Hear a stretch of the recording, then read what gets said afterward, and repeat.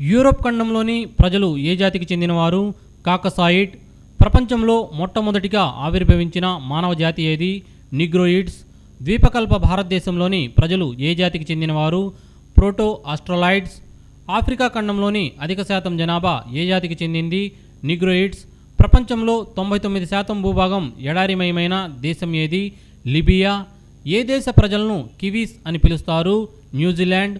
ప్రపంచంలో అత్యంత ఉత్తరాన ఉన్న తెగ ఏది? యాకూతులు.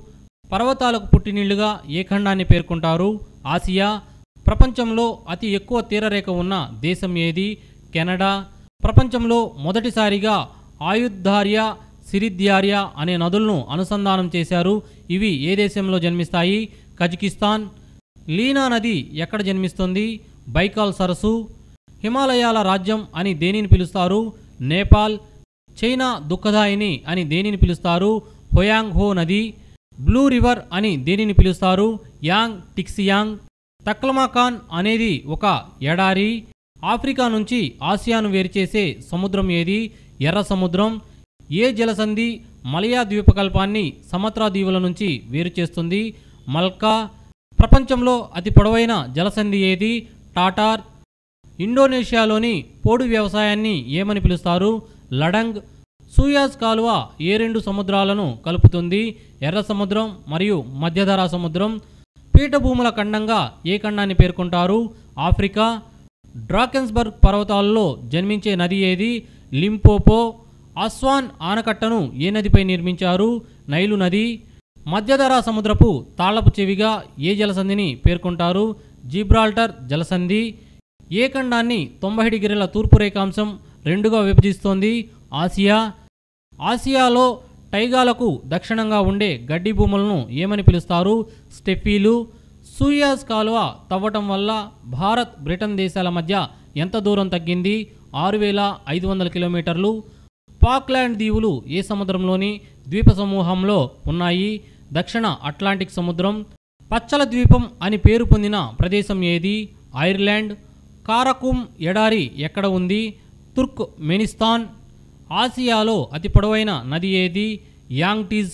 ట్రైగిస్ నది ప్రధానంగా ఎక్కడ ప్రవహిస్తుంది? Iraq.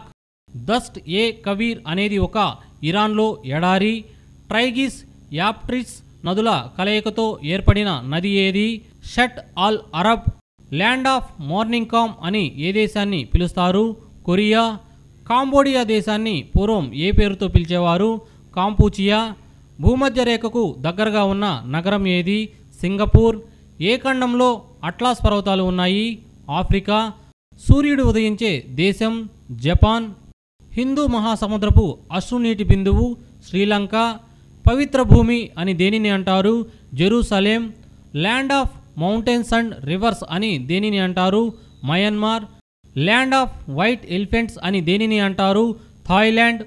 Land of thousand elephants అని దేనిని అంటారు? Laos land of thunder dragon అని దేనిని అంటారు?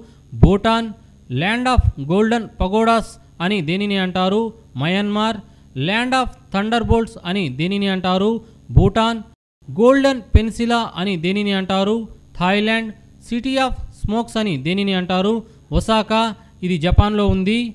ఫర్బిడెన్ సిటీ అని దేనిని అంటారు? లాసా ఇది టిబెట్లో ఉంది. సిటీ ఆఫ్ అరేబియన్ నైట్స్ అని దేనిని అంటారు?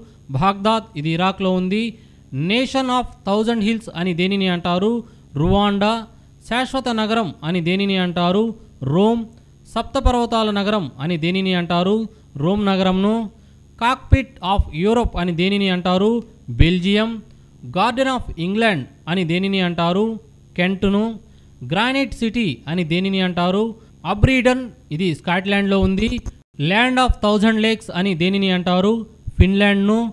Land of midnight sun అని దేనిని అంటారు? నార్వేను. ల్యాండ్ ఆఫ్ కేక్స్ అని దేనిని అంటారు?